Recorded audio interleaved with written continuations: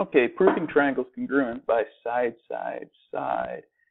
All right, side, side, side theorem says if three sides of one triangle are congruent to three sides of a second triangle, then the two triangles are congruent.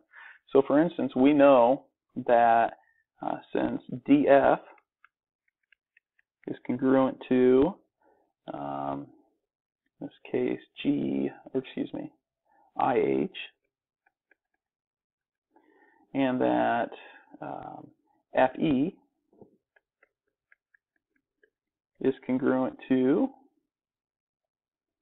looks like HG, and then DE is congruent to IG. That tells us that triangle, excuse me, FDE is congruent to triangle HIG. Got my triangle marking there.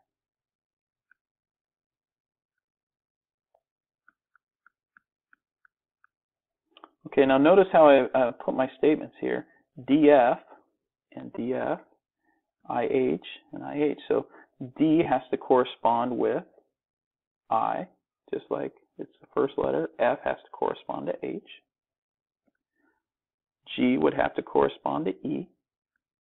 Okay, those are corresponding angles. All right, so angle D corresponds to angle I. And I'm really making a big deal about order because it matters a lot when you're dealing with corresponding parts in triangles. Okay, angle F corresponds to angle H, so they're in the same position. Angle G, let's go ahead and switch colors one more time, corresponds to angle E. So angle G and angle E are in the same position. Okay, just like angle H and angle F were in the same position. And then angle D and angle I were in the same position. They correspond. Okay, so if you have three sides congruent of one triangle congruent to three sides of another triangle, you have the two triangles congruent by side, side, side. Okay, so we're going to try some proofs here. Okay, using the side, side, side congruence proof or theorem, write a proof. All right, so we're given some stuff here, and I want to think through um, my proof before I actually start writing some stuff down. So I have statements, I have reasons, and I'm going to just kind of look at my um, givens. I have AD congruent to AB. It looks like that's a side. So they give me one side right there. I'm just going to write an S above that. I have DC congruent to BC. That's another side. So I have side, side. And I look at this. Well, it looks like I know that's congruent to itself by the reflexive property. Okay, and since I have that, that is side, side, side. I have three sides, so I then have the side, side, side congruence theorem. So let's go ahead and write that out. First, AD is congruent to AB. That is given. Always number your proofs. That also gives me a side. I'm going to write that off to the side. I also know that, and since I'm going to just do another given, I'm not going to add another number here. DC to BC. That's also given. There's my other side. Put that under the same statement and reason. Number two, I know that AC is congruent to AC. AC is congruent to itself. And I don't have to switch the order of A and C on these because they fold right on top of each other. And that is by the reflexive property. Okay, so there's my, oops, Boy, snuck it in on the wrong page. There, there's my other, well, maybe. There we go. There's my other side. So now I have the third triangle ACD is congruent to triangle ACB by side, side, and side. All right. And then in your proof, you know, maybe put a shape or um, you say something at the end just show that you finished it. All right. Well, let's go ahead and try another one here. Using side-side-side congruence, what additional information is required in order to know that the two triangles are congruent? Well, I look at this figure and I can see that I'm given one side congruent to another. I also look at it and go, well, I can get reflexive property right there. However, I don't have a third side. In order to prove these two triangles congruent, I'd need to know that RS is congruent to DQ. Okay, so notice I started with R because that's attached to the side with two markings, and I had to start with D because it's attached to the side with two markings. D corresponds to R, so I'd have to know that. I don't know that, therefore I cannot prove these two triangles congruent. This is what we need. Now some would say, well, why didn't you write QS to SQ? Well, I'm I'm not given that, but I can conclude that that's true based on the reflexive property. So I don't really need anyone to give me anything there. I know that. All right. Let's try something else here. Um, if I, another theorem is if I know that the hypotenuse of one triangle is congruent to the leg, or excuse me, to the hypotenuse of another triangle, and that the two triangles are right triangles, and that I have a leg congruent, then I can use what's called the hypotenuse leg theorem. Now, it's stated differently up here. It says the hypotenuse and a, and a leg of a right triangle are congruent to the hypotenuse and a leg of a second triangle. And the two triangles are congruent. And when I look at this figure, I purposely left out one of the pieces. Okay, I have the leg congruent, and I have the right triangle. Make sure you get the hypotenuse also. That needs to be marked. Okay, so hypotenuse is that longest side, the side opposite the right angle. And really, if you think through this, like in a, because you have a right triangle, you know that a squared plus b squared equals c squared. So if I know a squared and I know c squared, I could figure out b squared. I if I know one side or two sides of a right triangle, I automatically figure out the third side by using the hypotenuse or by using the Pythagorean theorem. That's why this works. It's kind of related to the side-side-side congruence theorem that way. Okay? But you need to have, what I would do in my classes, I would say, hey, you need to have a right angle. Okay, so you need a right triangle. You need to have a hypotenuse and you need to have a leg. Those are the three things needed to use hypotenuse leg. There. Okay, so let's try some uh, proof like that. All right, so ABC is an isosceles triangle and CM is perpendicular to AB. All right, well, I'm going to once again, statements and reasons.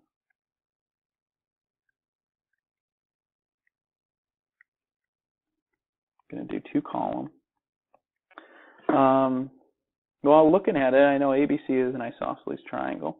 Well, that tells me if ABC is isosceles, um, so that's the big triangle, I know that in an isosceles triangle, I have a side that's congruent to another.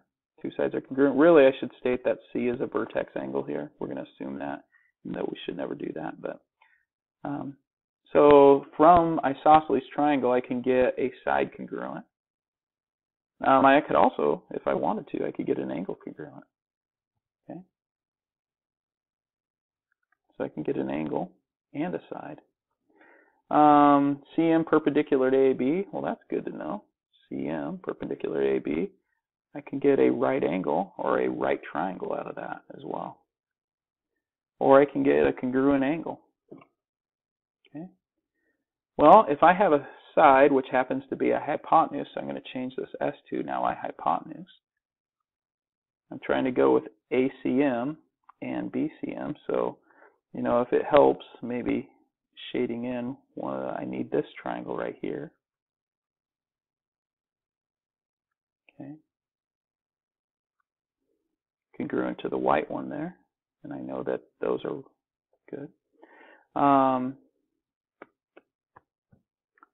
well, I do have reflexive property right here as well. Well, I have a hypotenuse, I have a leg, and I have a right triangle. There we've got it, man. Hypotenuse, leg, and the right triangle. So let's go ahead and put that together. The first statement, ABC is an isosceles triangle.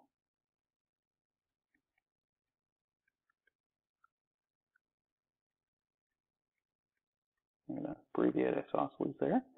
That is given. But that given helps me to state, number two, that AC is congruent to BC. And that is by definition of isosceles triangle. Definition of isosceles triangle says that the legs are congruent. I really don't need that these angles are congruent, so I'm going to erase that chunk. Oops, that erased all my yellow too. Uh, let's highlight that there, huh? All right. Okay, so I do have a hypotenuse. All right, well, let's go ahead and get the right triangle. Okay, I know that another statement here, number three, that CM is perpendicular to AB. That is given. And I actually have to state then, number four, that triangle ACM and triangle BCM are right triangle. Abbreviated right there. And that's by definition of a right triangle.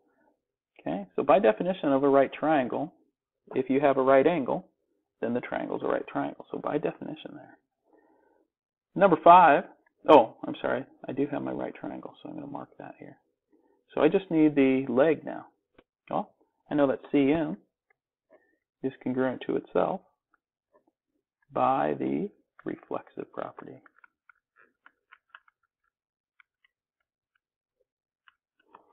And then finally, the last piece, triangle ACM is congruent to triangle BCM by the hypotenuse leg theorem. The HL. There we got it. Okay, well, let's try, I believe, just one more here. All right, now in this one, uh, given SR is perpendicular to RT, TU is perpendicular to US, and SU is congruent to TR. Prove TRS is congruent to SUT. Okay, now it's really tough because there are a lot of triangles, a lot of shapes here. So whenever you have things embedded into a bigger shape, I'm going to go ahead and separate them. So S to U to T. That's one of my SUT. So I'm going to just redraw that triangle off to the side. S, U, T. There we go. It doesn't have to be perfect, okay? Um, there we go. So there's S, there's U, there's T. And then let's go ahead and switch colors here real quick. And we got TRS. So T to R to S. All right. So there's our other triangle. So we have um, T to R to S. let's go there. And something like so. Now they may not look exactly congruent, but that is okay. So we go S. There's our R and T to R to S. Okay.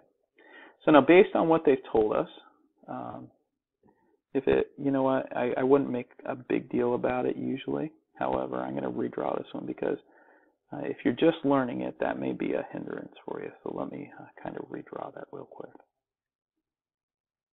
I, I normally, when I'm doing a proof, would not get really technical on my drawings, but I really don't want to um, make it so that they don't, they look so off that um, it confuses you. All right, there we go. I know they're not the exact same size and everything, but we're good. So so I've redrawn the triangles they want us to prove. So I'm really going to focus only on these triangles I redrew. Okay, SR is perpendicular to RT. All right, well SR, that's here, perpendicular to RT. That gives me a right angle right there. TU is perpendicular to US. TU to US, that gives me a right angle right there. And really, between these two things, it gives me my right triangles. Okay, so I have my right triangles that I need. Okay, um, SU to TR. Well, SU is right here. TR is right here. That gives me a side. Now, if I can get a hypotenuse out of this, I'm set because I've got a right angle, which could, can make into a right triangle. I've got a side. All I need is ST congruent to ST. Well, if you look at your original figure, ST and TS are the same line. Okay, so this is congruent to that by reflexive. So we can write this up now. We've got our, our hypotenuse there. Okay, so our statement and our reason. So the first statement is that my given SR is perpendicular to RT, and I'm actually going to put the other one in there as well. TU is perpendicular to US, and that is given. And I can use that now to state that triangle TRS and triangle SUT are right triangles. Why? Well, by definition of right triangle. Okay, they both have right angles, so by definition they're right triangles. Okay, so there's my right triangle that I need. Okay, just need a hypotenuse and leg. Number three, SU is congruent to TR. That is also given. Now you can put all your givens under one statement. You don't have to do under a multiple like I am. But there's my leg. And then number four, TU, excuse me, not TU, TS, is congruent to, now notice T to S has to be S to T if you have your corresponding pieces. That's why I made such a big deal of that at the very beginning of the lesson today. So way, way, way, way back here. I made a big deal about order. I knew we were going to get to this problem. And when we look at it, T to S corresponds to S to T.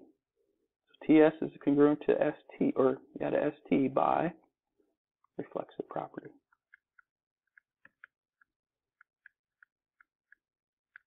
There's our hypotenuse. So number five, our triangle, TRS, is congruent to triangle SUT by HL. There we got it. All right, well, I think that's all I got for you. Good lucky.